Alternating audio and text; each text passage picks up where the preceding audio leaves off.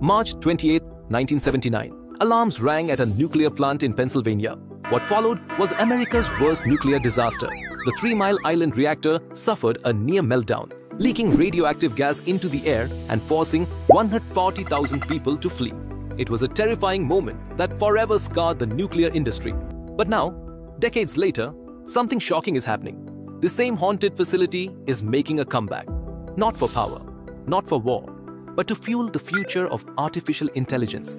Yes, Microsoft has struck a deal to bring the Three Mile Island plant back online to power its growing network of AI data centers. Why nuclear? Because it offers carbon-free, reliable energy, exactly what big tech needs. The twist? The reactor wasn't dismantled. It was mothballed using a method called SAFSTOR, making it easier to revive. The cost? Over $1.5 billion.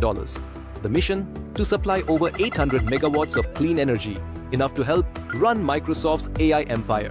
From disaster to digital rebirth, Three Mile Island is no longer a symbol of failure. It's becoming a nuclear-powered AI hub. The accident that almost ended it all is now powering the future.